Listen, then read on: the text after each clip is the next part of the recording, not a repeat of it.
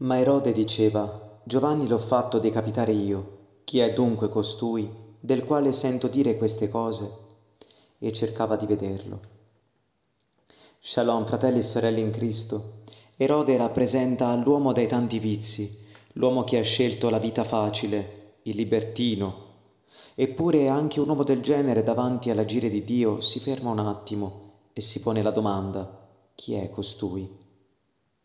Quella potrebbe essere un'occasione propizia per l'inizio di una conversione, perché la domanda apre alla ricerca della verità e la ricerca della verità porta all'incontro con Dio. Per Erode però non è stato così. Lui non ha cercato la verità, ha voluto solo appagare un altro dei suoi piaceri, una curiosità. Fratelli e sorelle, teniamo bene in mente che l'opera di Dio va sempre avanti.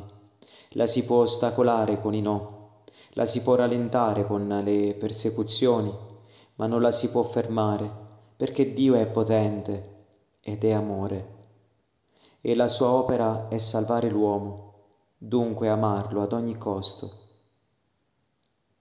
Preghiamo. Gesù, attirami a te, fammi entrare nel tuo cuore immergimi interamente nella tua carità infinita e fa che già su questa terra io sia concittadino del cielo, fratello dei santi, misticamente unito al Padre, a te che sei figlio, allo Spirito Santo amore, e a Maria, tua e nostra Madre. Amen.